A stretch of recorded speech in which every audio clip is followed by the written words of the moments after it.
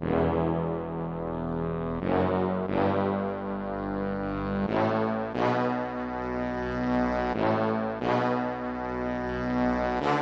what's up? It's Ryen with the Ryen Russillo Podcast. Today's episode of the show on the Ringer Podcast Network is brought to you by State Farm. Just like basketball, the game of life is unpredictable. Talk to a State Farm agent and get a teammate who can help you navigate the unexpected. I was in attendance for the Knicks at Lakers. Not a close game. That was very predictable. LeBron played, played well. Anthony Davis fell down hard, and it looked bad live.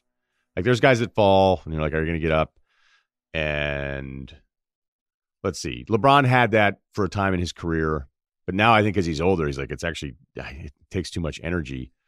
Um, you know, not getting up sooner. Like, let me just get up. Marcus Smart is big on like if he gets bumped, I'm like, okay, we're going to be here a while. It's almost like an intermission in the game. Um, but Bobby Portis looked like he like watching it live, I thought Bobby Portis is flagrant that he got thrown out for. I'm like, oh, I don't know if that'll be flagrant. And we saw the replay, and we are like, okay, that was actually kind of nasty. So um, there you go. I don't know what that was, unpredictable or not, but State Farm, we hope you're happy. Get a teammate who can help you navigate the unexpected. Talk to a State Farm agent today. Here's the plan probably a shorter pod. Josh McCown, playoff veteran, Josh McCown is going to join us. He was part of our backup quarterback series and reached out and said, Hey, do you want to talk about the game a little bit? So I'd like to get his perspective on getting out there, not expecting to get out there, how tough that was, how fun it was. Probably not fun. Fun. The fun meter was probably all over the place for him, and then the Wentz hit and all that kind of stuff. So there's a relationship there. I thought it'd be a little interesting uh, to do that. But I have an open, and today's open is about coaching, hiring. So, who's been hired? Right now, we have Matt Rhule going to Carolina, which I'd first heard about a week and a half ago when I was down at the Peach Bowl, being like, all right, Rhule, Giants, kind of a fit there. And you're like, oh, you know what? It seems like Carolina's more of a fit. And the thing that the Giants are dealing with right now, it's not that the Giants, I always felt like, hey, how do the Giants go from great ownership to like the ownership that you would want, the standard that other NFL organizations would hope to live up to? Uh, and now that's bad ownership. I don't really believe that, and I think it has way more to do with Gettleman. Giants have a Gettleman problem, not an ownership problem. That's why Matt Rhule went to Carolina. More on the Giants here in a second. Ron Rivera to the Redskins. I like the hire. You know, it feels like a grown up is in the building now. It really does, and I'm not necessarily knocking other Redskins head coaches, but Ron's been around a long time. He's been really successful. And, you know, you can point to the overall record. You can say, you know, maybe they're a little bit outdated. Is the best fit for Haskins? Obviously, a lot of the other coaches coming in, that's going to matter a lot to develop a younger guy. I didn't love Haskins' rationale, as I alluded to on Monday's podcast when I was reading this interview where Ron Rivera's like, yeah, I spent an afternoon with Joe Gibbs. He said Snyder's great. And you're like, oh, okay. So the, everybody else has been wrong for 20 years. Got it. Because you guys had afternoon sippers. Um, and then the Dwayne Haskins thing, like, hey, that offense wasn't built for him. Yes, that's fair in the beginning. And then he moved the ball against Detroit. And that was also, I believe, the selfie game with Haskins. I don't know if Haskins been any good or not. But here's the deal if you were offered a job that was a really good job and paid you a lot, you would say stuff. You wouldn't go, hey, you know what? The commute kind of sucks. The stock has been in the tank for like two years. I don't think there's any growth for this company whatsoever. No, you'd be like, okay, they're paying me a lot. It's a good company. And, um, you know, it's better than not having a job. So I'm out. Mike McCarthy in Dallas. It feels a bit like damaged goods, right? It's not going over as well. And that's the problem, too. Like, whenever you set big expectations, whenever you start sitting there on the message boards going, who can I'm trying to think of one. I always went back to Minnesota, but I can't do that now because Minnesota really impressed me against Auburn. And PJ Fleck's done a great job there. He's done a great job at two different programs, even though to me he's the Russell Wilson of coaching interviews. So when I looked at Minnesota used to have this thing though where they would you'd be like, what is going on? Like Van Pelt and I'd be doing the show and you go, who's on their list? Be like Dungy, Gruden, and Belichick. That seems a bit high. Um, Dallas had that, right? It was Urban and I had heard like Urban kind of wanted the job. Now I don't know if you know the Jerry Jones thing forever and that Garrett was there is because Jerry and Stephen Jones knew that they could kind of push Jason around a little bit and that it was still the Jerry show. And then if you hired Urban, would it still be the Jerry show? I don't know. I don't. I've heard all of these things. I can't confirm any of the stuff because I don't even know how you go ahead and confirm that. Would Jerry Jones ever tell somebody, you know what? I actually like some of these guys that have less of a profile because that makes me the star. Although if anyone were going to confirm that, it probably would be Jerry Jones. So whether it was Lincoln Riley, and I'd heard there was just a massive ask that basically told you Lincoln Riley didn't really want the job, the urban thing, you know, I'd, I'd heard whatever the Redskins' interest was, it wasn't as close to his interest in the Cowboys. You know, you're hearing all sorts of names, big game hunting. Okay. I'd heard Witten was potentially even in play. Oh, like, not great odds, but but kicked the tires on the idea. And then ends up being Mike McCarthy because Mike McCarthy's last two years in Green Bay, including getting bounced out before the season was done, it feels a little bit like damaged goods. And then the one that has everybody up in arms is Joe Judge to the New York Giants. Now, there's a couple things here. I don't know if Joe Judge is going to be any good. You don't either. You don't. Um, there are all sorts of coaching hires that make all the sense in the world that don't work and there are ones you're like you know what? Ended up being a pretty good hire. I think that's just what the industry is is that it's very hard. Like i spent that whole time on that video going through quarterbacks the last 20 years in first round uh, first round selections going you know how do you really know how a guy is going to process stuff? And after people watch that video it's got me more you know thinking about is there a better way to do this? Is there a better way? Like would you ask quarterbacks to like forget arm strength forget I think pocket mobility is a big deal, but would you sit there and have them play memory, you know, while somebody's trying to tackle them? You know what I mean? Like, what? How do you really figure out what's in a guy's head and how he's going to process all that stuff because it's not just raw intelligence. It isn't just the Wonderlic. It isn't just strength. It isn't just the ability to run. It isn't, you know, all of these things that we thought were really important with quarterbacks. Forget stats now, too. Winning programs, losing programs. Like, I don't know if any of that stuff really happens because anytime a quarterback is successful in the NFL who won a bunch of ton of, you know, games in college, they'll say, well, you know, it wasn't that hard to figure out. Look how successful he was in college. Do you seriously want to go through the list of quarterbacks that won a lot in college that would never do anything in the NFL, I don't have that much time today. So, as much as I may not know about quarterbacks for certain reasons, and the people picking them may not know, I think it's the same thing with coaches. Like, you don't know until the guy gets in the building where it's like, oh my God, this guy doesn't like work well with others. Oh my God, this guy's way better as a coordinator. This guy can't be the leader. Like those are really hard things to figure out until you're actually doing it. Everybody says the right thing in the interviews. Everybody says, "Oh, you know, I work too hard.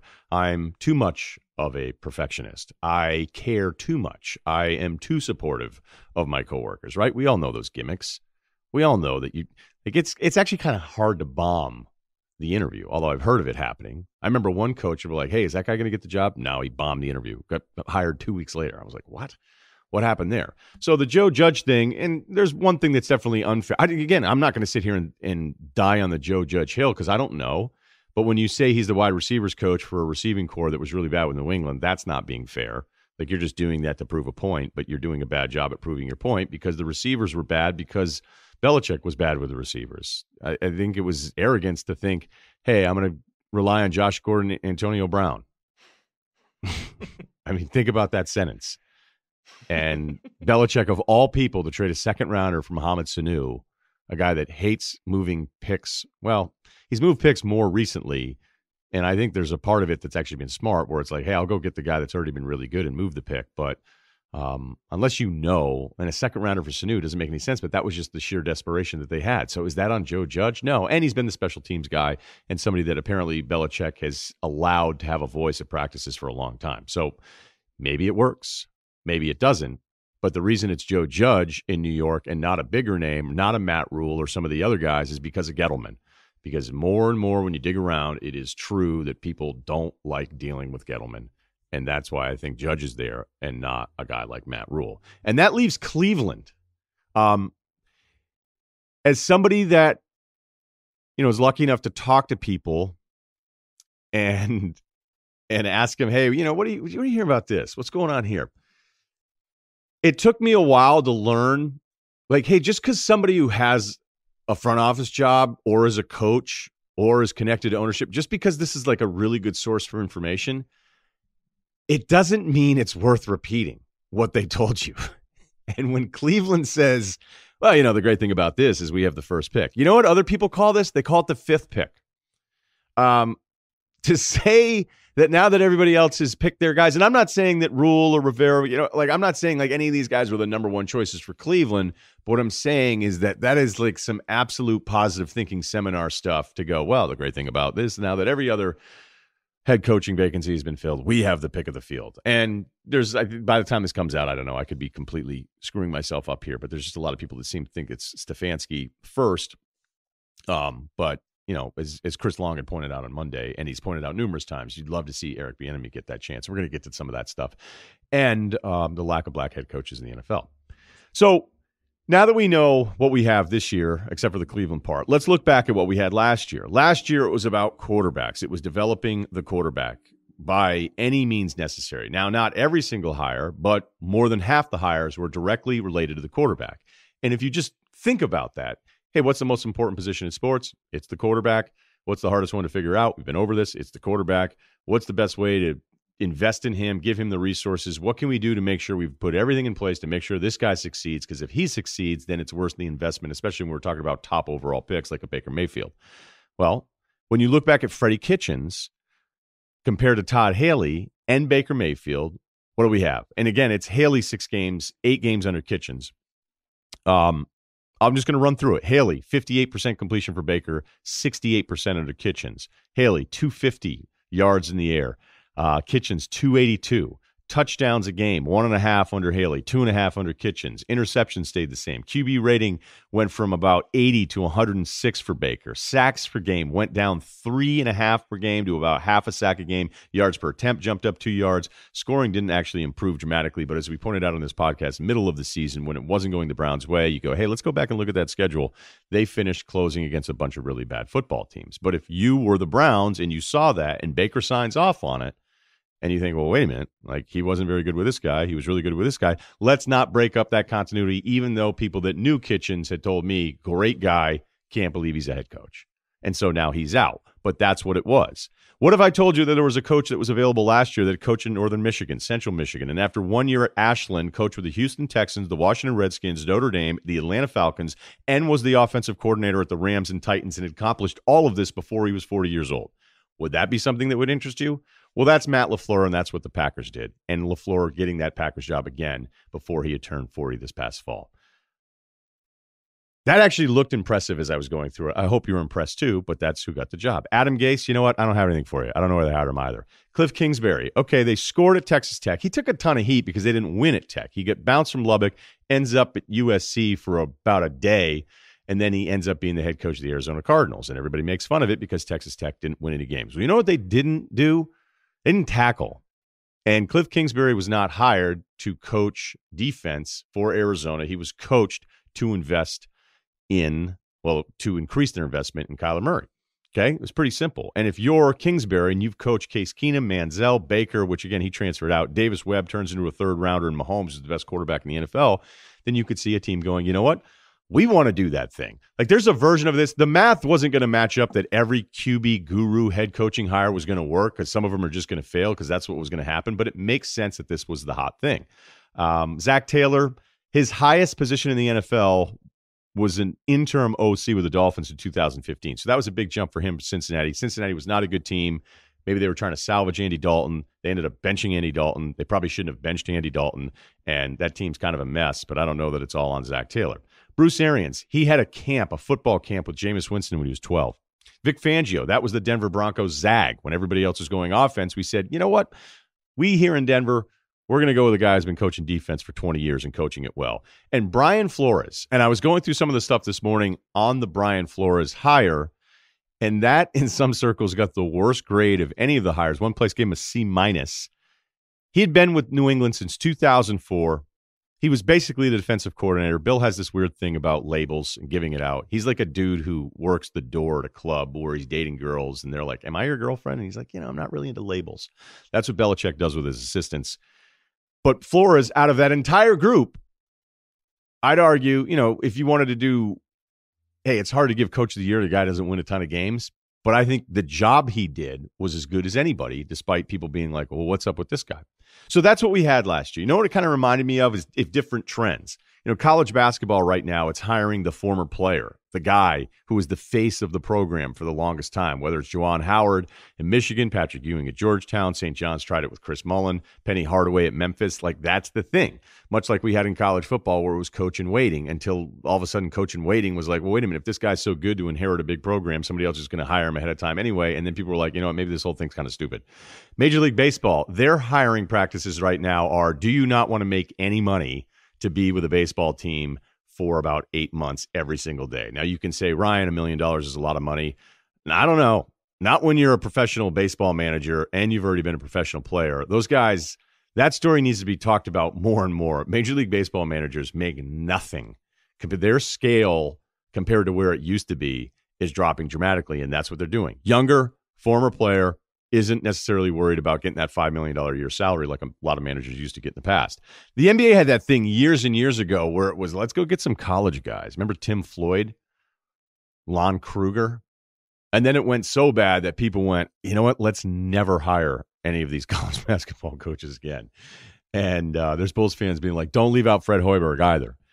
So that kind of changed. So what we had last year, and it feels like it's pivoted a bit from that, but I say, hey, look, let's give it more than a couple years to see if everybody after one year after the 2018 season has moved on from picking the head coach that is the quote quarterback guru. It reminded me a little bit after 9 11. And this is a true story. Uh, I had a bunch of friends that right after I graduated college in 97. So um, it was scary. It was a scary moment when you have friends that are down there and you're trying to call and you're trying to check in. But after that, and people wrote about this, and my buddies had told me about it, and that women started like seeking out dating firemen.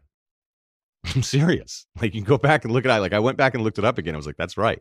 Like it became kind of a thing. Now I don't know that it was a thing that all of a sudden all my friends were going to bars in New York City and they would be at a table and then there would be another table of girls with like seven different guys from the same firehouse.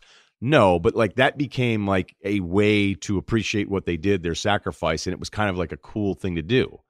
And then it wasn't, you know. And if anybody listening, if you're a younger guy knowing what it's like to go out in New York City, you want to talk about man sharpening man, iron sharpening iron. Go out, especially in the late 90s, early 2000s, in your pleated chinos trying to just struggle being like, hey, yeah, no, no, what's going on? What's go? Oh, really? You're, you're dating a Met? Okay, cool. Yeah, no doubt. Yeah, we're gonna have, we're gonna go listen to some Dave Matthews at my place. Yeah, we're in the Lower East, but it's a really up and coming spot. You should check it out.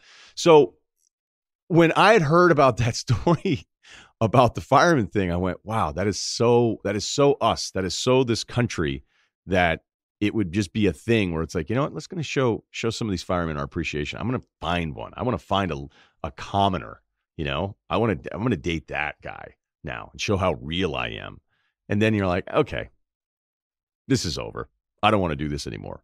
And I don't know if that's what's going to happen with some of these head coaches in the NFL. But what I do know is they're probably going to be fired. Is that they're all going to be fired at some point, and it won't be because you only hired the QB guys or you try to do something different. It's because these guys just get fired, and that's the way it works. And what do we want when you look at this new group of hires? What do you want if you're the Dallas Cowboys? To quote Robert California, we want sex, right? Everything is sex. Everything has to be the sexy pick. When you look at a woman, especially if you're younger, you don't ever look at a woman and say, I bet she's a smart spender. you know what? Hey, you see that one over there? Yeah, yeah, the brunette. I bet no matter what, she will let me pursue my dreams. you know?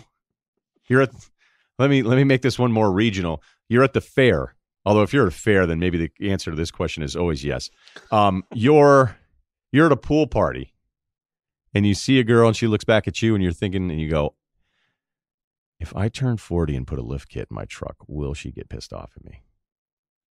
No, you don't you don't do any of those things. Okay, and those might be the questions you should ask yourself. When you look at a woman, you go, you know how great she is around kids? She's going to be a great mom. You know who I really love? I love her family. They're stable. You know what? I think she's going to be supportive even when I don't deserve support. No, you look at the thing that turns your head.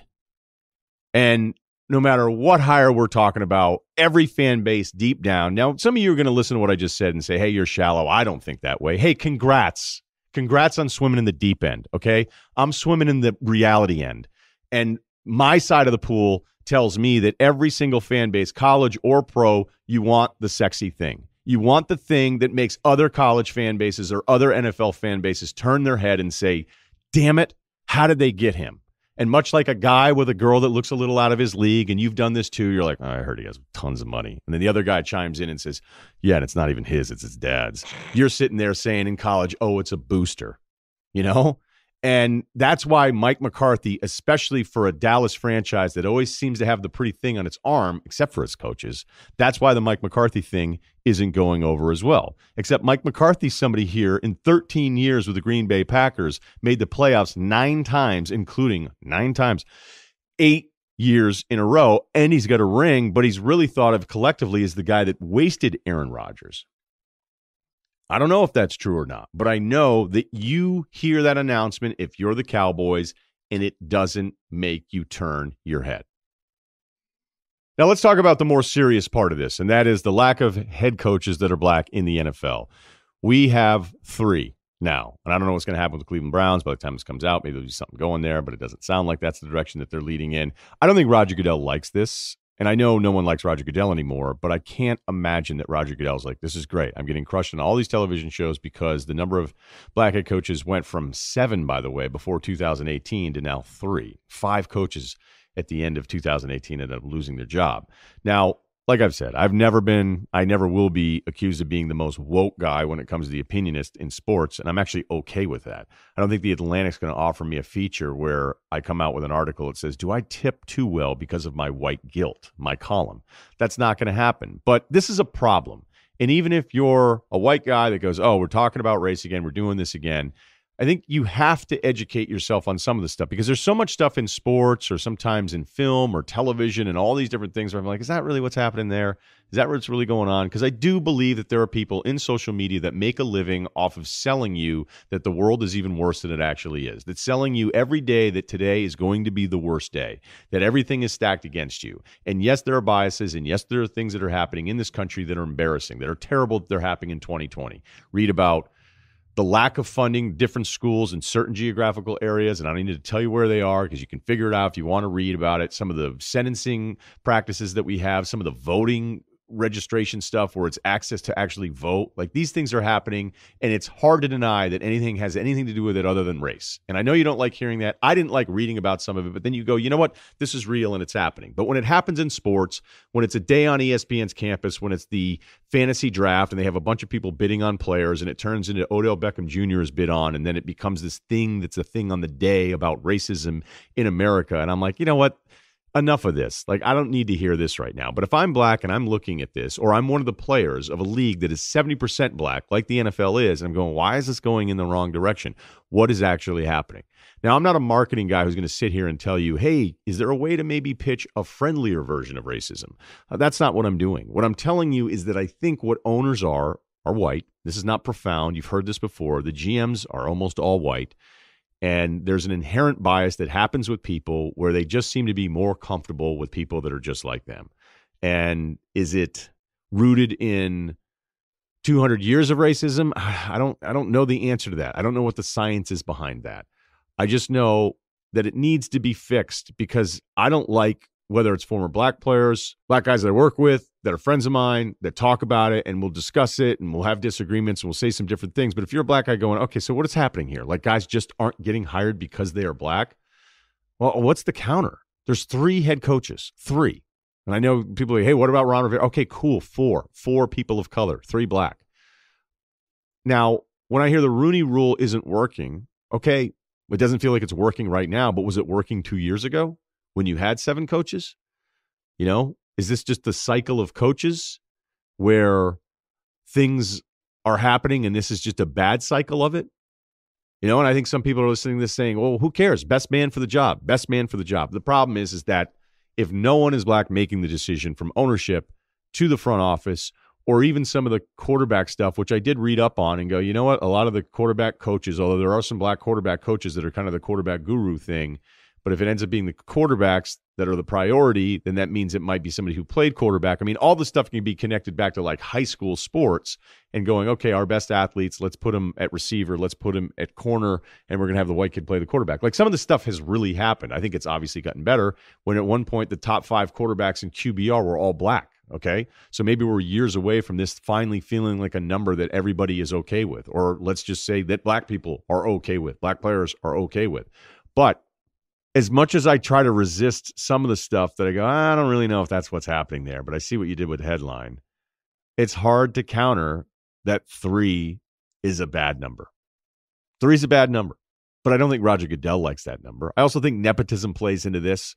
And I'm not talking about nepotism from the ownership standpoint because if I owned a billion dollar franchise or I owned a franchise that was worth two, but I paid a billion and leveraged all sorts of assets and put together the pool of money and minority partners and I did all these different things. And then it's like, okay, I'm 70 and I'm going to die.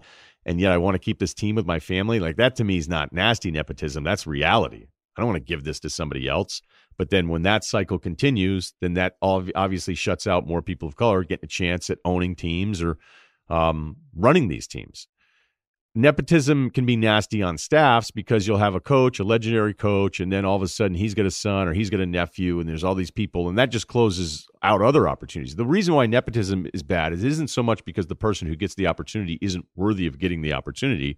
What happens with nepotism is that the son or the daughter of somebody else, that guy who's been with an organization for a long time, he'll say, Hey, you know what?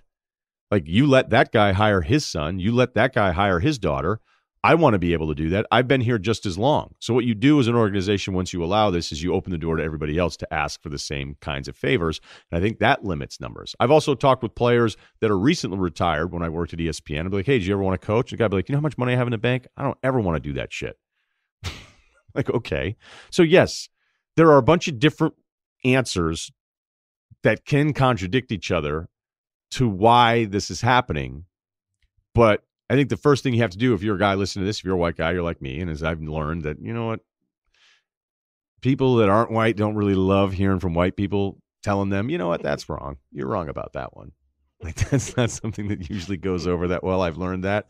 Like, hey, you know what I want to do? I'm going to do another segment telling people that you know that are minorities that hey, yeah, you're wrong about that. Okay, even though there've been times where look, I've I've I've obviously felt that way. But when it comes to this, when it comes to the NFL, you know, whether it's the Rooney rule not working, there could be something coming. And I'm not like this isn't based on anything, but I would actually be okay with something that would be in place that would feel unfair to other people.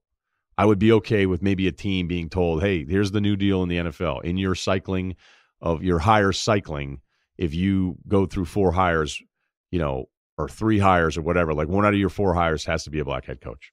Okay. You have you have to do something to change this. There are plenty of things that I read about that I push back on. But this one, I don't even want to why would why would you want to push back on that? I do think it's a real problem. All right, let's talk with Josh McCown.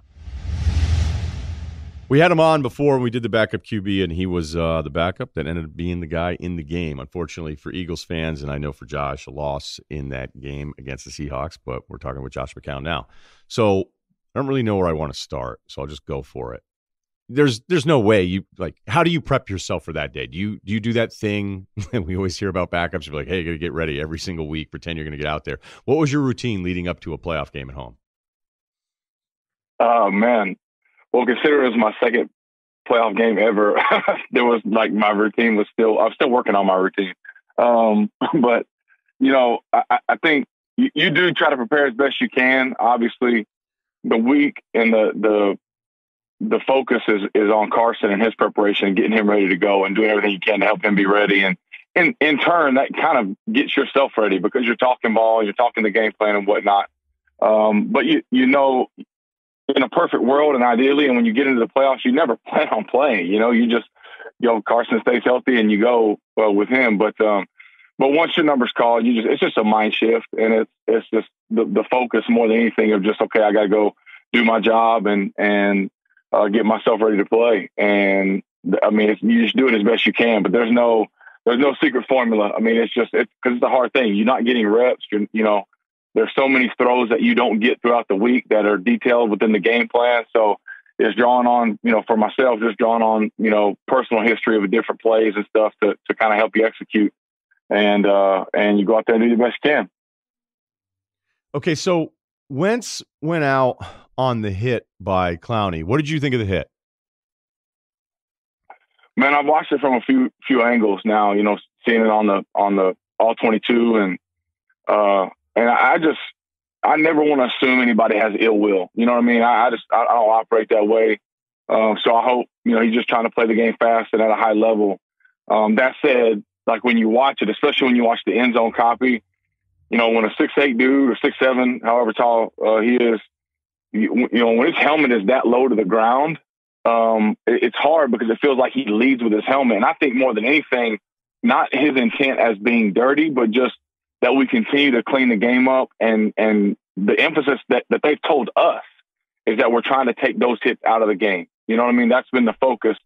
And so it seems as though if you put this much emphasis on it, when I look at that one, um, both uh, in high speed and in slow motion, it seems like that that one's a shouldn't have been that hard to miss. Uh, again, the refs have a tough job, and and I commend them for their work. But um, but in my opinion, it just looked like there there could have been something called there, and uh, and you know it was a tough one. And obviously, you hate to lose a teammate in that manner uh, too. And, and I think we'll continue to learn and, and protect our game and make it better. And I think those are the ones that we got to look at and see if we can get get uh, get better at calling and eliminate.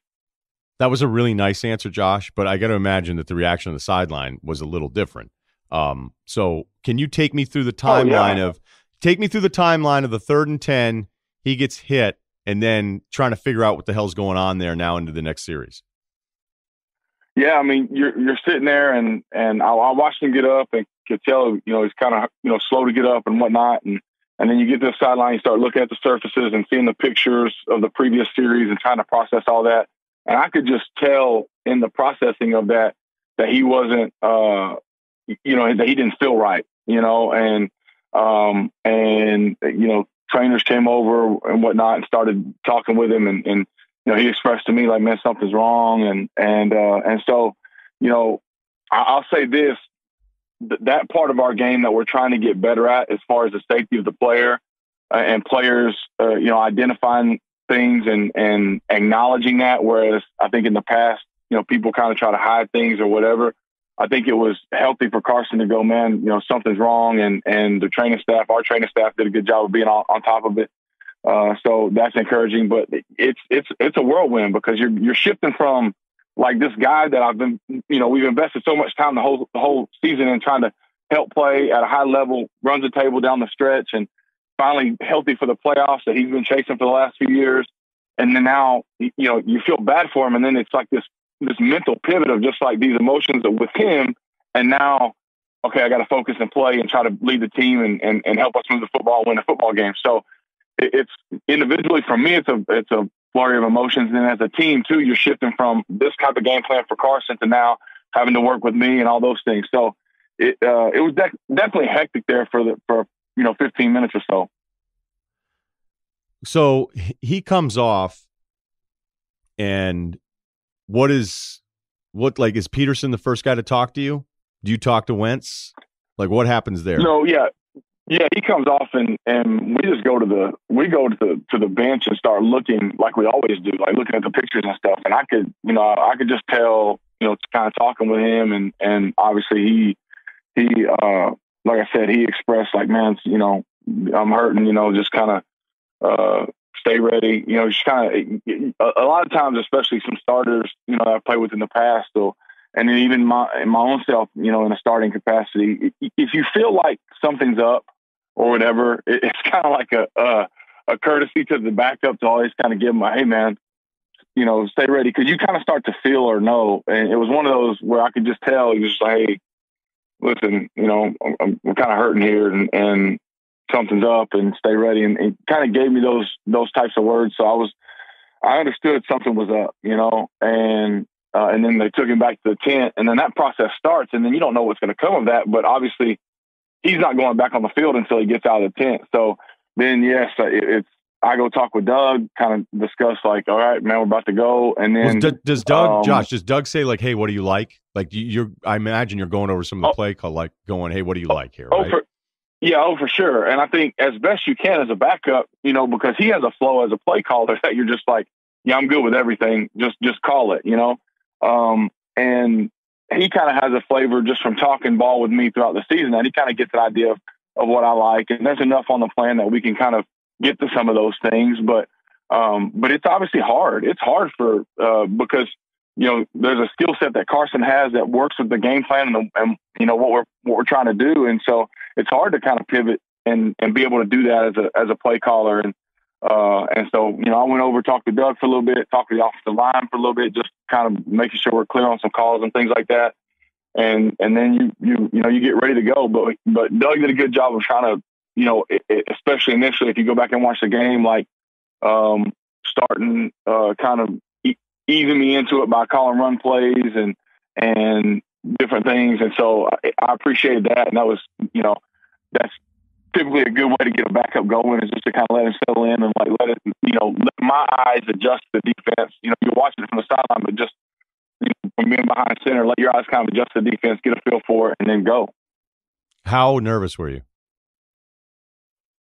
Not at all, bro. It, it's so weird. Um, wow. Just yeah, like you know, uh, I, I think more than anything, just uh, just trying to train yourself, you know, as a backup is just is, run to the fight. You know, just you can't in that moment.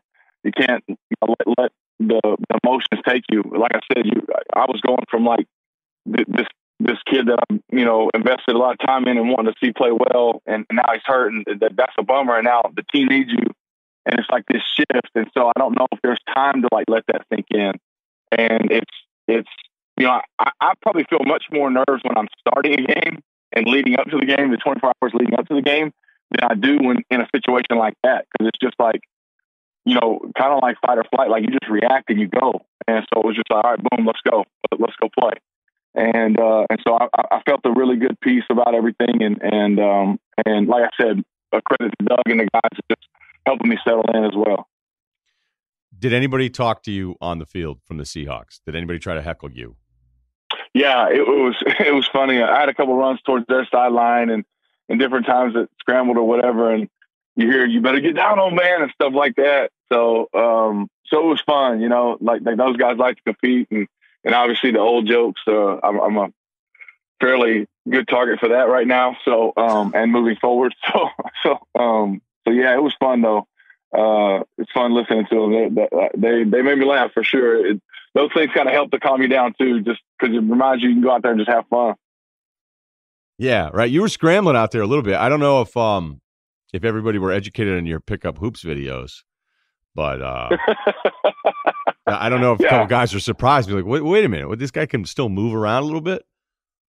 A, a little bit, um, you know. I, I I don't know. It's one of those things where you feel so much faster until you see it on tape or on film, and you're like, "Holy cow, my flow!"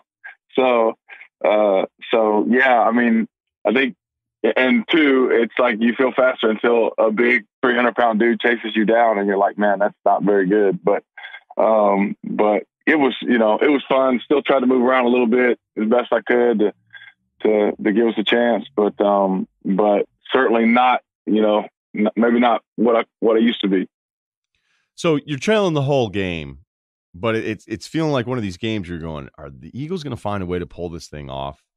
Um, as you get a little bit more comfortable, did it feel like you were more comfortable? Because obviously the production wasn't there, but like what what was going on in the course of that second half when you were going, all right, like we know we're close, we need this play, we know the injuries that this team has had. This isn't an ideal situation for backup to come into, but like how are you trying to navigate through trying to figure out anything that could work for you guys?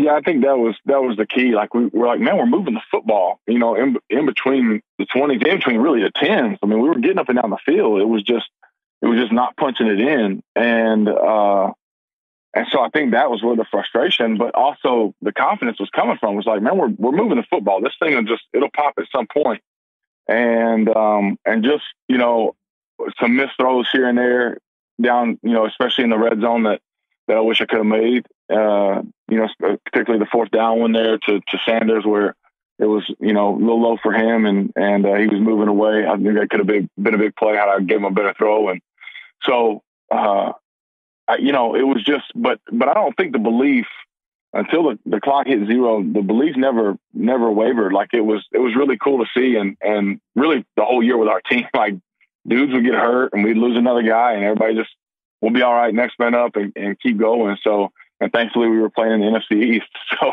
so um, so uh, we were able to get in. But yeah, it was it was just that you know, just almost almost had it done, but just couldn't quite get over the hump. You mentioned the pass to Sanders. How much is that fourth and seven going to bother you not being able to get the ball out?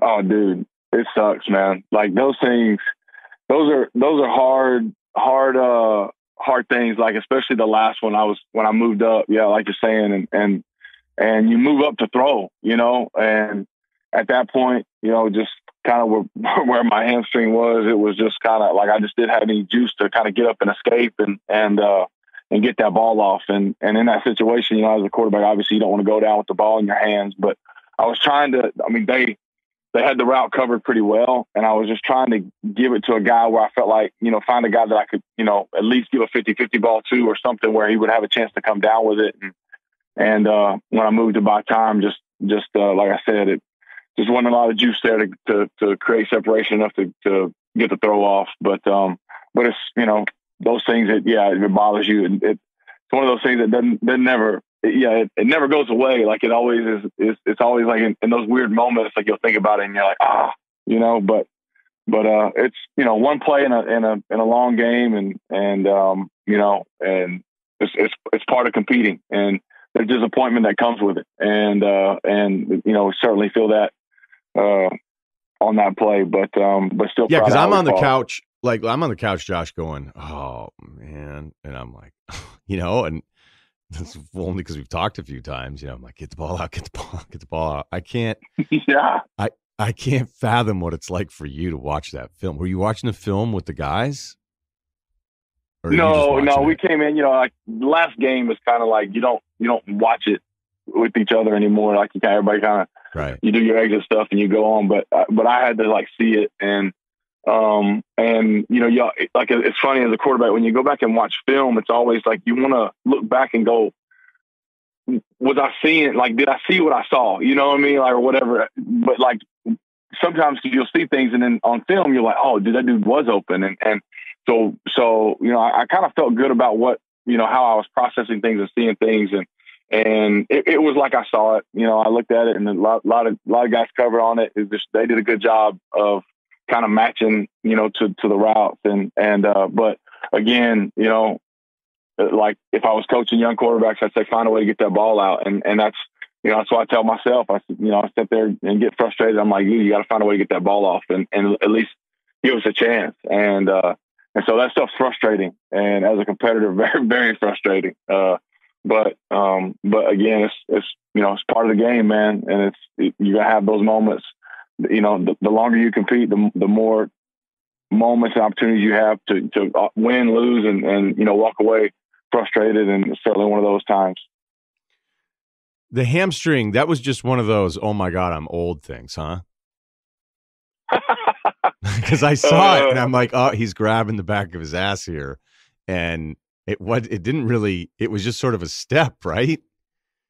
Yeah, yeah.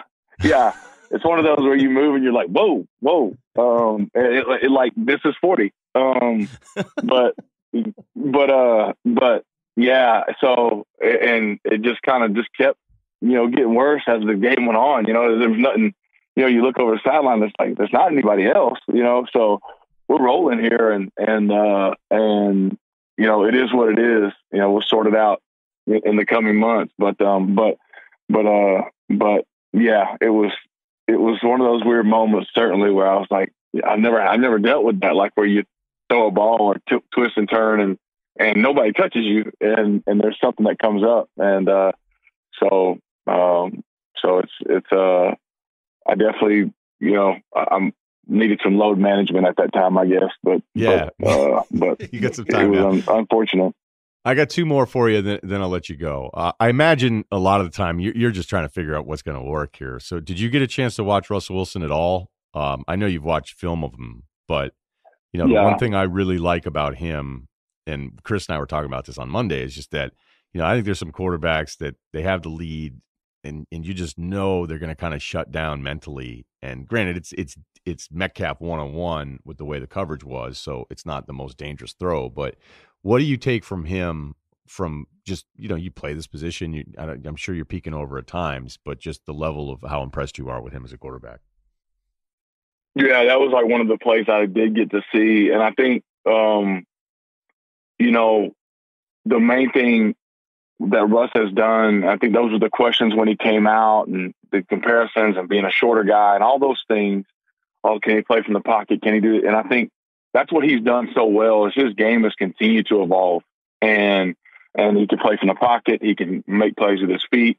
And more than anything, he competes at such a high level all the time, and the belief and the belief that uh, Pete fosters within that uh, program, and, and just the way that they go about things uh, is second to none. And, and they stay on the gas. You know, to your point, they didn't, you know, they didn't just sit on the ball and and you know go. We're going to run it three times and kick it back. They were aggressive, and and uh, and that was impressive. And it was a an impressive play call, an impressive throw by Russ and uh, I think it speaks to you know how they how they go about things day to day and how he competes, and and he's certainly fun to watch, and it's been cool to see his career from the start till now and how he's evolved. Forty this year, um, you know it was funny watching some of the TV shows after the fact, and they were talking about the game and like you know this guy was he was retired, and then another guy's like he was working with us. the guy's like, oh, that's right, I forgot, I forgot he was supposed to be an ESPN analyst this year. What are you going to do? Uh, I don't know, man. It, it's you know, uh, I don't. We'll see. You know, it's kind of resetting it. You know, again and, and kind of replaying last off season. Just gonna talk with the family and see uh, see what the best best thing moving forward is. You certainly, you know, enjoyed my time as an analyst. Learned a lot doing that that brief time. Um, but uh, uh, you, you, know, we'll see. Um, I, I don't know. A uh, lot, lot of, lot of time to make some decisions and, and see what's next. Certainly want to stay around the game and, and, you know, be involved in some capacity. Um, and, uh, you know, don't know, don't know what that'll be yet, but looking forward to figuring that out. Hey, before we say goodbye, what did you think of the social media criticism, especially, you know, like guys that played, people that cover the game, you know, crushing Wentz about the injury stuff? Man, I think it's uh, I think it's unfair like I I get trying to look at patterns and and saying like a guy misses time, so he's quote unquote injury prone, but like look at the injuries and take them on a case by case. Like, and if a guy is missing a bunch of time because he continues to get you know joints and different things banged up, but to but to say after a guy sustains a head injury that he falls in that category, I think is is really unfair because it's it's totally separate. And and really for anybody that's spent any time playing this game, especially at the highest level, to to kind of make that attack or make that observation, I think is is is it's crap. I think it's it's trying to you know trying to make more than you know out of it than than there really is because um, because it's like the head stuff is a totally different animal and um, and then then being able to say somebody's injury prone because they they have a knee or a back or or whatever happens to, to you. So um, so that was that was uh, that was unfair, and and I think you know take a bigger look at the, the at the at the process in general and, and at the injury history in general before you before you make opinions that way.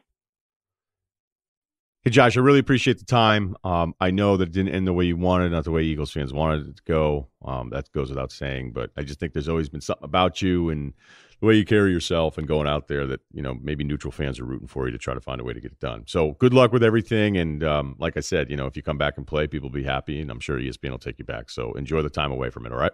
I appreciate it, man. Enjoy talking. Okay, we uh, hopefully are taping a little national championship preview, but we don't know that yet, um, guest wise. But we'll have another one ready to go Friday. Chris and I will be live. It looks like from New Orleans on Monday. Um, that's going to be in a hotel room, so we're not inviting anybody to that one. We're not doing a show or anything like that from a location. We're just going to tape it there, and then I think there's a chance to do kind of a Tuesday recap, um, depending obviously on how the game goes. So uh, that's the plan. So please subscribe, rate, and review. And I can't thank you enough going back and looking at the years and the download numbers. This podcast is absolutely crushing it. And I'm really, really happy that, you know, within a few months, um, this podcast is the number three sports podcast behind Bill and, and uh, the PMT guys who are friends as well. So um, there you go. There you go. Just a few months, we're able to do that. So really, really proud. So thanks for a great 2019, and we'll uh, keep it running here in 2020.